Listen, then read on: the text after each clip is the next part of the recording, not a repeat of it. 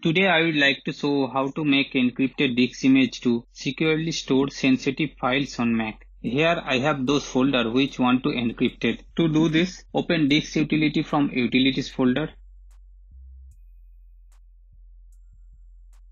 or from the spotlight search.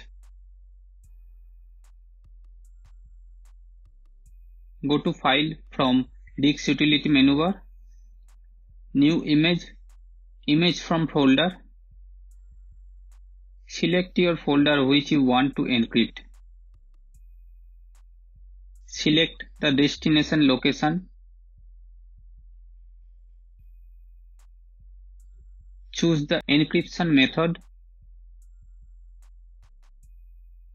Now here type complex password In image format, for read-only and compressed, you cannot edit this image further. And if you select read and write, you can read and write to the disk image anytime. After creating, double click to mount or open it. Now type the password and open. If you forget the password to your encrypted disk image, data on the disk image cannot be recovered.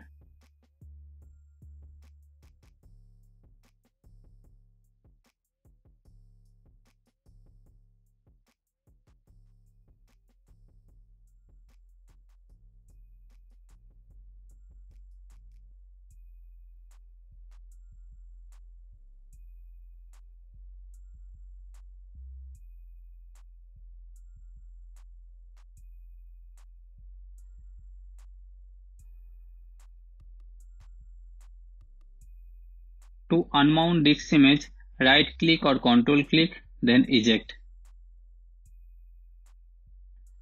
That's all. Hope you like the video. Please like and subscribe my channel to get more videos. Thank you.